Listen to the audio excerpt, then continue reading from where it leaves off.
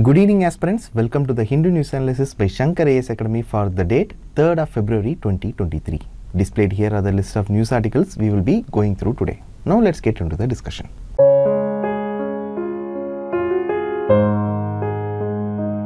Take a look at this editorial.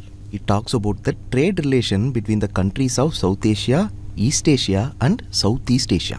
The article touches upon multiple issues like free trade agreements, regional comprehensive economic partnership. This is the context based on which the article is written. So, in this discussion, we will try to learn about India's Act and Look East policies, and we will also see some of the points discussed in the editorial. Before that, I have highlighted the syllabus regarding this discussion. You can go through it. Before starting our discussion, you need to know the countries which are part of South Asia, Southeast Asia, and East Asia. I have provided the maps here for your reference. Pause the video and go through it. Here, note that out of all these three regions, South Asia is the least developed economically, while East Asia is well developed. With this information in mind, let us start with the look east policy of India. See, the government of India, through this strategic policy, tried to cultivate extensive economic and strategic relations with the nations of Southeast Asia. The look east policy came into effect in the year 1991 when India was facing balance of payment crisis. After the LPG reforms, India tried to make a more integrated trade relations with the other countries. The set policy, that is the look east policy, tried to increase India's standing as a regional power. Also, through the look east policy, India aimed to counter Chinese influence in this region. This is a brief about the look east policy of India. Now coming to the successor of look east policy, which is nothing but the Act East policy. See, the Act East policy was launched in the year 2014 and it is considered to be a upgrade of the look east policy. This policy focused on four C's which are culture, commerce, connectivity and capacity building. Act East policy extended its area of action beyond the Southeast Asian region to the whole of Asia Pacific. The policy covered even East Asian countries like South Korea and Japan. The Act East policy had an elaborate strategic goal than the Look East policy. Through this policy, as I previously said, India had formed relations not just with Southeast Asia but also with the East Asian countries like Korea and Japan. Here note that Japan and South Korea had huge investments in the infrastructural projects of some of the Southeast Asian countries. Through this policy, new relations and strategic partnerships were forged by India with the countries of Philippines, Malaysia and Vietnam. This is to check the dominance of China in this region. Act East policy helped India to check the dominance of China in both South China Sea and the Indian Ocean. This is about the Act East policy. Now let us see about the points discussed in the article. The article calls for a more integrated Asia in the economic domain. It wants the countries present in Asia to bring down their import duties. When import duties are reduced, there will be more trade between the countries. The increased trade will make the countries economically interdependent. The article provides some steps that can be taken to increase the trade relations between the Asian countries. Let us see them one by one. Firstly, the author wants the countries in Asia to reduce their trade barriers. He wants the custom duties and other duties to be cut down. After the global financial crisis of 2008, there has been a constant increase in custom duties of Asian countries. The reversal of this increasing trend is the first step suggested by the author to promote trade integration across Asia. Secondly, he wants the South Asian countries to improve the performance of their special economic zones. He says special economic zones, that is SEZs, can help improve the exports of these countries. He also says that political and macroeconomic stability in a region can act as a catalyst to increase the performance of SEZ. And once the performance of SEZ is increased, the exports from these countries can be increased. This is the second point suggested by the author to ensure economic integration of South and Southeast Asia. Thirdly, free trade agreement can help in the economic integration of Asia. When a good number of bilateral free trade agreements are signed within the region, then the countries can move towards a much broader regional trade agreements like that of Regional Comprehensive Economic Partnership, that is RCEP. Already, Japan India Free Trade Agreement, Sri Lanka Singapore Free Trade Agreement, and Pakistan Indonesia Free Trade Agreement are signed. With addition to this list in the future, a regional trade agreement can follow. Fourthly, BIMSTEC needs to fill the void created by SAARC. Here note that South Asian Association for Regional Cooperation, that is SAARC, has been inoperative due to the difference of opinion between India and China. The author wants the grouping of Bay of Bengal Initiative for Multi-Sectoral Technical and Economic Cooperation, that is BIMSTEC, to act as a medium where the countries from South Asia and Southeast Asia can come together to foster cooperation in the region. Fifthly, the author wants the South and Southeast Asian countries to deepen their economic ties. This, according to the author, will eventually pave the way for trade integration between South Asia and East Asia. Finally, the author wants the larger economies to facilitate gains made from trade to the smaller economies. For example, when India is trading with a smaller country like Myanmar, India must take up the moral high ground and must be ready for some economic compromise. This will reduce the fears of the smaller countries. Only if all the countries in the regions are without fear that larger economies won't economically exploit them, regional integration would be possible. Okay? See, these are the points suggested by the author to promote trade integration between the countries of Asia. With this, we have come to the end of the discussion. Through this discussion, we came to know about India's look and act east policies. Other than that, we saw the points suggested by the author in the editorial to promote trade integration among the countries of Asia. So that's all regarding this discussion. Now let us conclude this and take up the next news article. Take a look at this article. It talks about the difference in the reporting of trade of red sanders by India and the countries involved in the trade with India. See, this is a serious issue because the difference in the reporting of trade of red sanders can be because of illegal trading. This particular difference has been found out and reported by the CITES. This is about the article given here. In this context, let us learn about CITES and also about the most smuggled tree in India, which is nothing but the red sanders or red sandalwood. Firstly, let us see about CITES. See, CITES is a convention on international trade related to trade in endangered species of wild fauna and flora. It is expanded as Convention on International Trade in Endangered Species of Wild Fauna and Flora. Its aim is to ensure that international trade in specimens of wild animals and plants does not threaten their survival. Now coming to the formation of CITES. In 1963, a resolution was adopted at a meeting of IUCN. As a result of this resolution, the CITES agreement was drafted. And finally, after several deliberations over the text of the convention, the text was finally agreed and the CITES agreement came into force in 1st July 1975. Any country or regional economic integration organization can be a party to this agreement. The European Union became the party to this agreement under the criteria of Regional Economic Integration Organization in 2015. India has been a party to this agreement since the year 1976. See, there are three different appendices of CITES that list wild animals and plants according to varying degree of protection. Appendix 1 includes species threatened with extinction. Trade in specimen of these species is permitted only in exceptional circumstances. Appendix 2 includes species that are not necessarily threatened with extinction but in which trade must be controlled in order to avoid any future challenges. Here, note that red sanders is placed in this particular category. Now coming to the third appendix. Appendix 3 contains species that are protected in at least one country which has asked the CITES parties to assist in controlling the trade. This is all about the three different appendices present in CITES. Now let us see how plants or animal species can be changed from one appendix to another. See, change to Appendix 3 follows a distinct procedure from changes to Appendix 1 and Appendix 2. Changes in Appendix 1 and Appendix 2 needs ratification from the parties to the CITES while changes can be made unilaterally by a single country with respect to Appendix 3.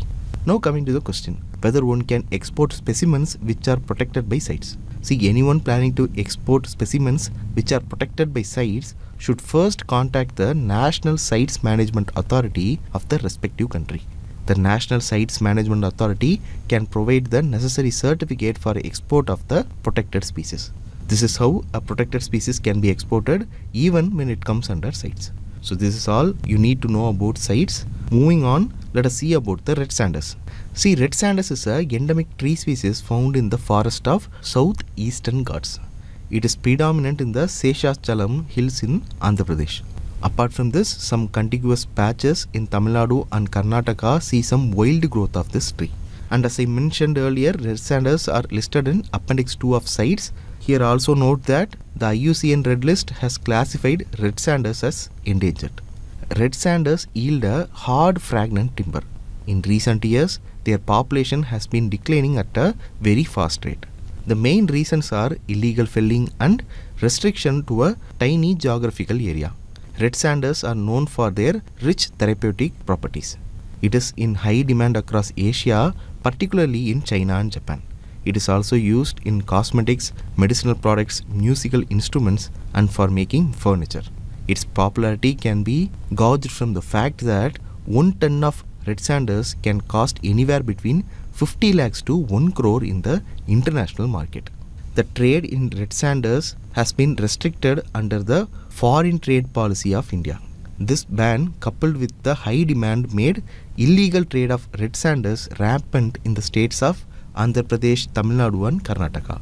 So, the export policy of red sanders was revised in the year 2019 by the Directorate General of Foreign Trade.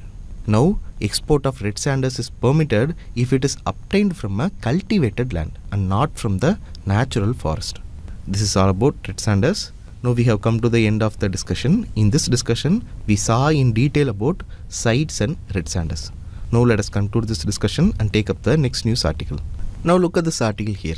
It says that the Supreme Court refused to set aside a provision in the election law that allows candidates to contest polls from two constituencies simultaneously. Yes, there is a provision like this in the election law. The most famous example happened in the 2019 election. In the 2019 election, Mr. Rahul Gandhi contested from two constituencies. One is from Wayanad, Kerala, and the other one is Amethi. So this provision is only contested in the Supreme Court. The petitioner wanted Supreme Court to declare this provision as invalid, but the court said that this is a matter of legislative policy and it is the parliament's will to see if the country can be granted such a choice or not.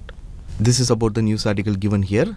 So in this discussion today, we will see what is the legal basis for such provision, issues associated with this provision and the advantages of this provision. Before that, I have highlighted the syllabus regarding today's discussion. You can go through it. Let us begin with the legal basis. Can you think of any act about election? Yes, we have the Representation of Peoples Act 1950 and 1951. The provision that enables a candidate to contest from two constituencies is in Representation of Peoples Act 1951. To be specific, it is the section 33 clause 7 that enables the candidate to contest from two constituencies. This is the text exactly from the Representation of Peoples Act 1951. Now observe carefully. The plain text of the Representation of People Act 1951 says that a person shall not be nominated as a candidate for general election to House of People from more than two parliamentary constituencies. What does this mean? This means that a person can contest from two constituencies, but he cannot contest from more than two constituencies. And using this provision only, candidates are contesting from two constituencies. This is applicable to not just House of People that is in Lok Sabha, it is applicable in several other cases as well. Just follow the highlighted text here. A candidate can contest from two constituencies in the case of general election to the House of People, general election to the Legislative Assembly of a state, biennial election to the Council of States that is the Rajya Sabha, by-election to the House of People from two or more parliamentary constituencies which are held simultaneously, by-election to the Legislative Assembly of a state from two or more assembly constituencies which are held simultaneously, and by-election to the Council of States for filling two or more seats allocated to states which are held simultaneously and finally by-election to the legislative council of a state having such council from two or more council constituencies which are held simultaneously. Now you know about general election. Next is the biennial election.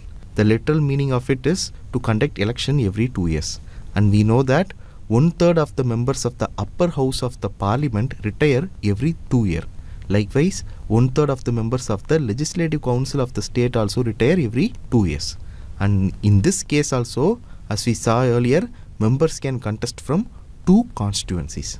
Next is the by-election. Now, what will happen in by-election or when will by-election happen? It happens when a seat becomes vacant in a legislative body. So, if two seats become vacant and the election to these two seats are happening simultaneously, then a single candidate can contest from both these seats. And this is what is given in the provisions of Representation of Peoples Act 1951. Now let us see some famous example. In 1977, Indira Gandhi contested from Medak and Rai constituencies. In 1999, Sonia Gandhi contested from Amethi and Bellary constituency. In 2009, Akhilesh Yadav contested from Kannauj and Firozabad. In 2014, our Prime Minister Mr. Modi contested from Varanasi and Vadodara. And finally, in 2019, as we saw earlier, Mr. Rahul Gandhi contested from Wayanad and Amethi. Okay. Now let us see the advantages of this provision. The first advantage is the choice that is there for the candidates. Candidates have the option of contesting from any two constituencies they wish. Like we saw already, Rahul Gandhi contest from Amethi and Wayanad. So, if they fear that they won't win in one constituency, they can choose another constituency also. This is the first advantage, and this first advantage leads us to the second one. The second advantage is that it increases the probability of winning.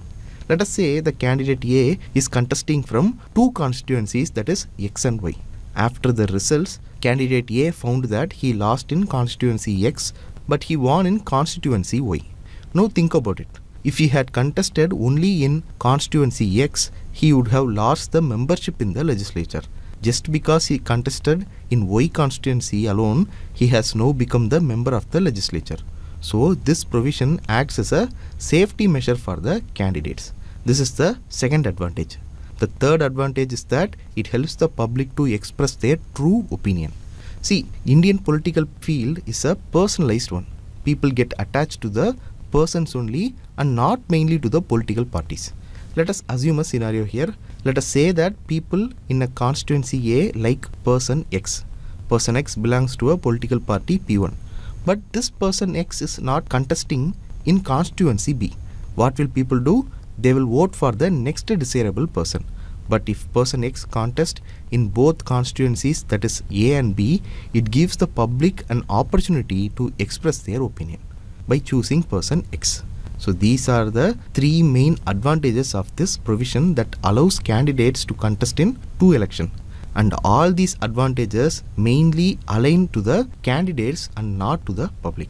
Along with these advantages, the provision also has some issues let us see the issues associated with allowing candidates to contest from two constituencies simultaneously now.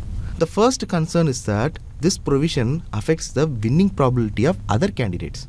Again, we are going to take the example of Mr. Rahul Gandhi only.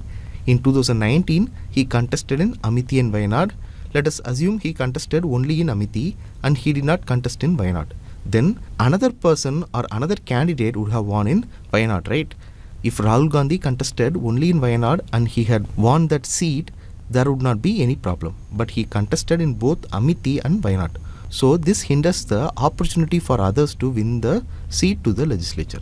Secondly, according to the election commission, there is this practice results in wastefulness of resources. Yes, think about it. Let us say a person is contesting from two constituencies and he has won from both the seats. Then what is the norm? He or she has to vacate one seat, right? Then this will lead to a by-election. And again, election should be conducted from the vacated seat. And this results in wastefulness of resources. This is what the election commission is saying here. Thirdly, this provision leads to unaccountability. Sounds confusing, right? Let me explain. Now, candidates have the choice of contesting from two constituencies. Now, what will they do? If they feel that the public opinion about them is not good in one constituency, then they will choose another constituency where the public opinion is good about them. This will lead to unaccountability. If there is no provision to contest from two constituencies, then a particular candidate will be accountable to the public. Otherwise, the people in that constituency won't vote for him, right? And because of this fear itself, the candidate will do good things for the constituency. So, in a democracy, a candidate should be allowed to present his or her perspective to only one constituency from which he or she wishes to contest. Only then the candidate will be trusted by everyone and he will live up to the faith of the voters. Okay, these are the three main concerns associated with allowing candidates to contest from two constituencies simultaneously. Now, what can be done? The Supreme Court has said that it is up to the Parliament to change this provision. For this, the Parliament said that two constituency limit is reasonable and if this has to be changed, it can be changed only with the legislative amendment only. Know that till 1996, candidates were allowed to contest from more than two constituencies. And after 1996 only the representation of people's act was amended and the limit was set to 2 okay? This is the opinion of the government but the election commission is proposing to have one candidate one constituency norm but since the supreme court has left the decision to the parliament it is up to the parliament to make the change all we can do is wait and watch for the parliament to react to it so that's all regarding this discussion. In this discussion, we saw the provision that allows candidates to contest from more than one constituency simultaneously. We saw the advantage of this provision and we also saw the concerns associated with this provision. With this, let us conclude this discussion and take up the next news article. Have a look at this article from the editorial page. This article gives us an oversight about the budget allocation to the country's research and development departments. The article also provides us some of the points regarding the challenges to research and development in India. This article is very important for your mains examination. If UPSC asks questions regarding R&D, you can use the points that I am going to discuss. It will definitely enrich your answer. So, in this discussion, we will understand the points provided in the editorial. Now let's start with the budget allocation to research and development. Ministry of Science and Technology has received an allocation of 16,361 crore. This is a healthy and impressive 15% increase from the previous year. In the Ministry of Science and Technology, the bulk of the increase has gone to the Department of Science and Technology, which got 7,931 crores, which is an increase of 32% from the last year. A nominal hike has also been seen in other departments like Department of Biotechnology and the Department of Scientific and Industrial Research. Apart from this, the Deep Ocean Mission and the National Research Foundation have got significantly higher hikes than in previous years. Now, what is this Deep Ocean Mission and the National Research Foundation? We will see them one by one. First, let us take the Deep Ocean Mission. The Deep Ocean Mission is a mission mode project to support the blue economy initiatives of the Government of India. Here the term blue economy is defined as the sustainable use of ocean resources for economic growth. Now coming to the aim of the Deep Ocean Mission. The main aim of this mission is to develop technologies to harness the living and non-living resources from the deep oceans. The Ministry of Earth Sciences is the nodal ministry for implementing this mission. Now moving on to National Research Foundation. The Government of India has set up a National Research Foundation to strengthen the research ecosystem in the country. The National Research Foundation is being envisaged as an umbrella structure that will improve linkages between research and development, academia and industry. One of the main objective of the National Research Foundation is to facilitate research at academic institution. The main focus is on universities and colleges where research capacity is currently in a nascent stage. This is all about Deep Ocean Mission and National Research Foundation. As I said earlier, these two initiatives have got substantially higher hikes than in previous years. Now coming back to the editorial. The budget is aiming to scale up investments in dedicated centers for excellence in artificial intelligence research. The budget also gives renewed attention to lab grown diamonds and Center for Research in Sickle Cell Anemia. Now we will see in brief about the lab grown diamonds and sickle cell anemia. First let us take lab grown diamonds. Lab grown diamonds are diamonds that are produced using specific technology the production process mimics the geographical process or geological process that grows natural diamonds. Differentiating between lab grown diamonds and earth mined diamonds is very hard.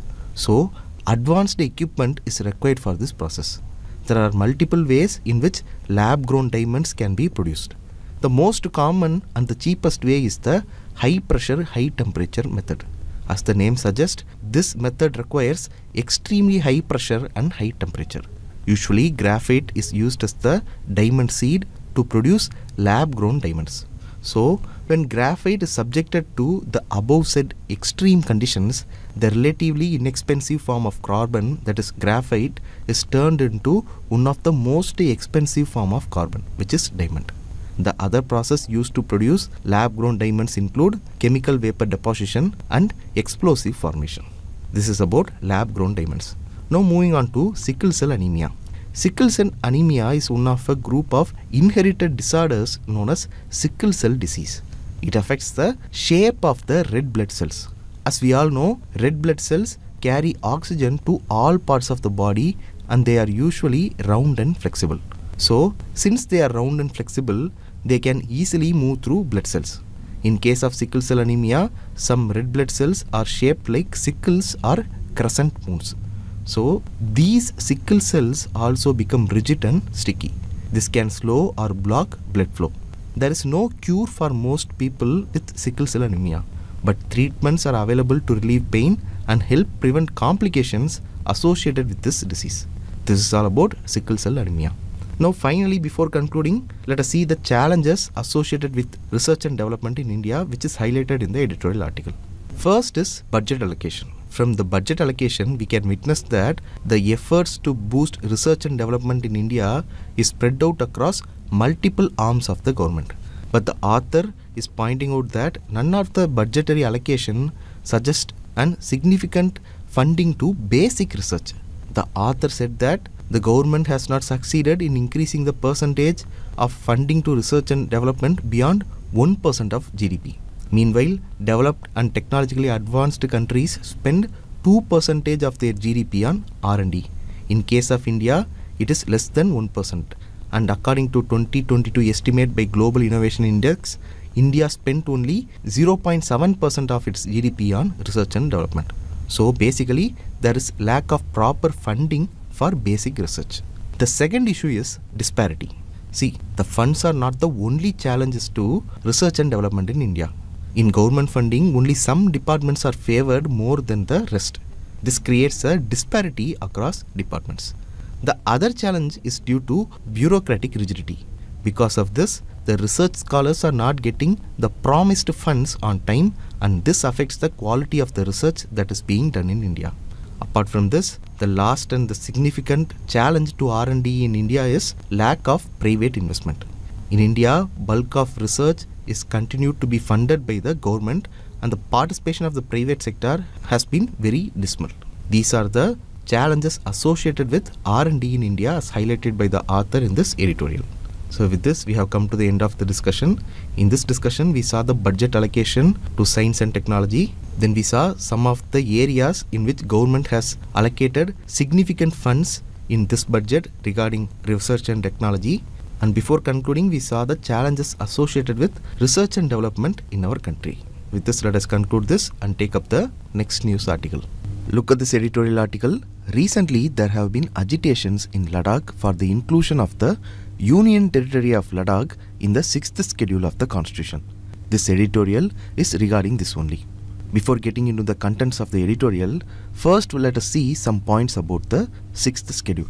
The sixth schedule provides for the administration of certain tribal areas as autonomous entities.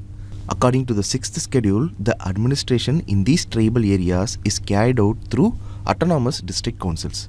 These autonomous district councils have some legislative, judicial, and administrative powers to ensure the protection and preservation of tribal culture. As we all know, the sixth schedule applies only to the northeastern states of Assam, Meghalaya, Mizoram, and Tripura. With this basic introduction, now let us come back to the editorial. Recently, in Ladakh, Mr. Sonam Wangchuk went on a fast so the agitations in Ladakh regarding the inclusion of Ladakh in the sixth schedule has been renewed. This is the background of the issue so far. So in our discussion today, let us understand the demands of the Ladakhi people and why the government is denying the demands of the Ladakhi people for the inclusion in the sixth schedule. Okay.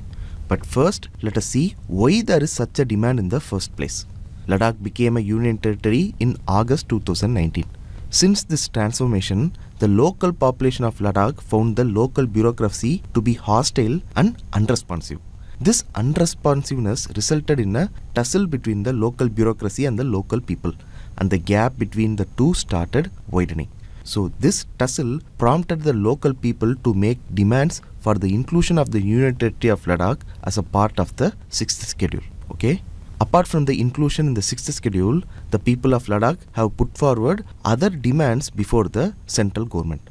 The demands are firstly, the provision of full fledged statehood to Ladakh. Secondly, the provision of separate Lok Sabha seats to Leh and Kargil districts. And finally, job reservation for the locals. The people of Ladakh believe that these demands are key to protecting Ladakh's culture, identity, and its unique environment. Okay, so here comes the question Can Ladakh be included in the sixth schedule? And why is the government not yielding to the demands of the Ladakh?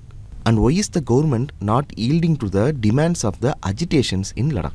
The first reason is the constitution is clear about the contents of the sixth schedule. In September 2019, the National Commission for Scheduled Tribes recommended the inclusion of Ladakh under the 6th schedule. The commission said that more than 97% of the people living there are predominantly tribal people. And since people from other parts of the countries were not allowed to buy or acquire land in Ladakh for such a long time, the area developed a distinct cultural identity that needed to be preserved. But here you have to note one thing no region outside the northeast have been included in the sixth schedule. And right now, as we saw earlier, the states of Assam, Meghalaya, Tripura, and Mizoram are included in the sixth schedule. In fact, even Assam has autonomous councils for places having predominant tribal population, but it is not included in the sixth schedule. Only Assam, Meghalaya, Tripura, and Mizoram are included in the sixth schedule. Even Nagaland and Arunachal Pradesh, which have significant tribal population, are not included in the 6th schedule. In this line, Ladakh's inclusion in the 6th schedule would also be difficult. This is the reason why the central government is dragging its feet for the inclusion of Ladakh in the 6th schedule.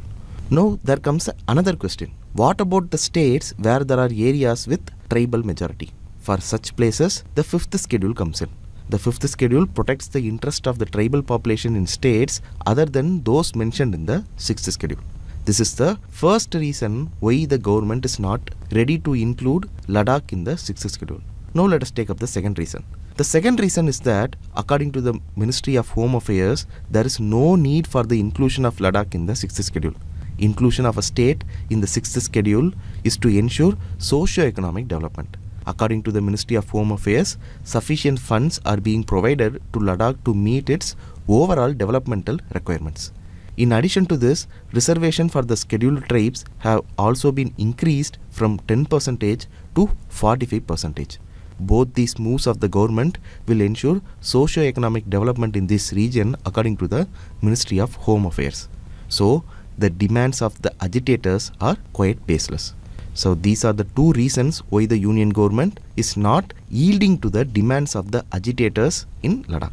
So that's all regarding this discussion. In this discussion, first we saw why there is a agitation in Ladakh, then we saw the demands of the agitators in Ladakh, and finally we saw two reasons why the union government is not yielding to the demands of the agitators. So that's all regarding this discussion. With this, let us conclude this discussion and take up the next news article. Have a look at this news article. According to this news article, the Tamil Nadu State Agricultural Marketing Board has applied for GI tags. The GI tags have been applied for three products, namely Kavindambadi Natu Sakari, which is a type of country brown sugar, Ramanad Chitrekar rice, and Salem Kannadi Katri, which is a type of local brinjal. This is about the news article given here. So, in our discussion today, let us revise about GI tags. First of all, what is a GI tag? The geographical indication or GI is an indication used on product that have a specific geographical origin and possess qualities or reputation that are due to that origin. For example, take Dindigul locks. The locks from Dindigul have some unique quality associated with it. The GI tag will preserve the qualities and reputation of a product from that defined geographical locality. In India, the Geographical Indication of Goods Registration and Protection Act 1999 provides for the registration and protection of geographical indication. The tags in India are issued by the Office of Controller General of Patents, Designs and Trademarks. It comes under the Department of Promotion of Industry and Internal Trade, which is under the Ministry of Commerce and Industry. Now you may have a question. If a GI tag is issued for a product, will it be valid forever? Actually, no. The registration for a GI tag is valid for a period of 10 years. It can be renewed from time to time for a further period of 10 years each. These are some basics about the GI tag or geographical indication tag. Now let us see about the significance of the GI tag. Firstly, the GI tag is kinda like a stamp that ensures quality and distinctiveness which are essentially related to the place of the product's origin. Secondly, once the GI protection is guaranteed, no other producer can misuse the name to market similar products. It also provides comfort for customers about the authenticity of the product. The GI tag enables those who have the right to use the geographical indication to prevent the use by a third party whose product do not conform to the applicable standards. For example, in the jurisdiction in which Darjeeling geographical indication is protected, producers of Darjeeling tea can exclude the use of the term Darjeeling by the third party because the tea that is not grown in the tea gardens are not produced according to the standards set out by the code of practices for the geographical indication. These are the two main significance of GI tag. Before concluding, let us see the status of GI tag in the international arena. At the international level, the geographical indications are covered as a component of intellectual property rights under the Paris Convention for the Protection of Industrial Property. GI is also governed by the World Trade Organizations that is WTO's agreement on trade related aspects of intellectual property rights that is TRIPS. And as we saw during the beginning of the discussion, in India, the geographical indication registration is administered by the Geographical Indication of Goods Registration and Protection Act 1999. And one additional point before concluding, the first product in India to be accorded with the GI tag was the Darjeeling tea in the year 2004. So that's all regarding this discussion. In this discussion, we saw some of the basics of the GI tag and also the significance of the issuance of GI tag. With this, let us conclude this discussion and take up the next news article. Take a look at this news article. This news article talks about Irula tribes. Now suddenly the community is in news because of the recognition of Vadivel Gopal and Masi Sadaiyan of the Irula tribes. They are among this year's Padma Shri recipients. So in this context, let us go through some of the important points about the Irula tribe. First, let us take up the location. The Irula people reside in the northern districts of Tamil Nadu and in some parts of Kerala. They are semi-nomadic tribes and they have their origin from the ethnic groups of Southeast Asia and Australia. They speak Irla language which is closely related to Dravidian languages and they are among the particularly vulnerable tribal group. Here particularly vulnerable tribal groups are PVTGs or the marginalized section among the scheduled tribes of India and these PVTGs are relatively isolated. They are both educationally and socio-economically backward and they live far away from the urban amenities. Apart from this, the Irla tribe were also part of the denotified tribe that is DNT and they were condemned as habitual offenders by the British. Now moving on to their occupation.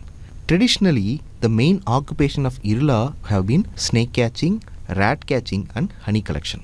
They also work as laborers in the fields of landlords during sowing and harvesting season and they also work as laborers in the rice mills. Fishing and cattle farm is also their major occupation.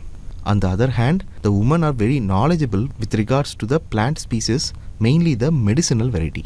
This knowledge has been passed on from many generations and some of the women are called Vaidyas meaning traditional doctors. Now moving on to the food habits. An interesting thing to know about Irlas is that their main staple crop is millets. Because more than rice, millets and millet based food are ideal for the climate of South India and it also suits well for their rigorous lifestyle. Finally, let us take up their lifestyle. A typical Irla house is made up of entirely mud or stone. Among the Irla tribe, men and women are allowed to marry according to their wish and marrying more than one man or woman is not considered as a crime. The marriage is fixed for girls within the age limit of 12 to 18, whereas for boys, the age limit is 14 to 24. People normally do not marry within their same clan. Okay, these are some of the points that you have to know about the Irla tribe. With this, let us conclude this discussion and take up the next news article. Look at this news article. The news article talks about the All India Survey on Higher Education. According to the report, compared to the year 2019, in 2022, Tamil Nadu's gross enrollment ratio has dropped by 2.1 percentage point. As of 2022-21, Tamil Nadu's gross enrollment ratio is 46.9 percentage. This was the first time the state of Tamil Nadu recorded a decline in gross enrollment ratio in the past 5 years. Despite the decline, Tamil Nadu continued to have the highest gross enrollment ratio among major states. The data mentioned in this article is published by the AISHE, which is nothing but the All India Survey on Higher Education. So, in this context, let us learn few facts about All India Survey on Higher Education in this discussion. AISHE is a web-based annual survey conducted by the Ministry of Education. This survey was initiated in 2011 during which data for the year 2010-11 was collected. It portrays the status of higher education in the country. During this survey, data is collected on several parameters.